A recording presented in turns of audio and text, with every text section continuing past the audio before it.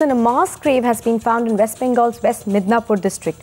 So far, seven skeletons have been pulled out. Locals in the area say that the CPIM is behind these deaths.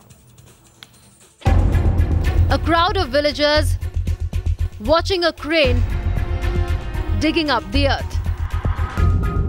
And what's dug up is this shocking sight. At least seven skeletons. This is a mass grave in Dashirbat area in West Midnapore where seven skeletons have been found by the villagers. Uh, and the villagers allege that these are the bodies of those missing persons who were supposedly killed way back in 2002 uh, in a place called Keshpur, which is about 8 to 10 kilometers away from this spot.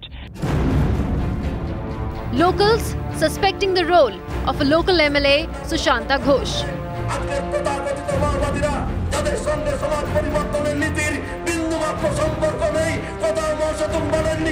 কেত বছরকে খুন করার কথা কোথাও বলেননি গরিব কৃষককে খুন করার কথা claiming these skeletons were of the people killed by the CPM in September 2002.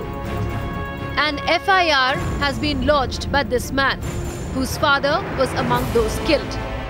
বাবার পরনে যেই সব পোশাকগুলো ছিল সেই পোশাক দেখে আমি করেছি যে এইটাই আমার বাবার নরকঙ্কালের মৃতদেহ বা এইটা দেখে আমরা চিন্তা করেছি চিন্তা ভাবনা বলেছি যে এইটাই আমার বাবার A CID team is trying to establish the identities of the skeletons.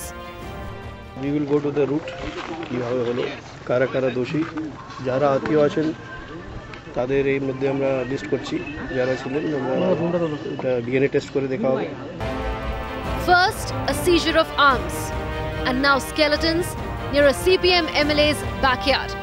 It seems the dirty secrets of the CPM rule are tumbling out. With Shombit and Midnapore, Munmun Bhattacharya for Times Now.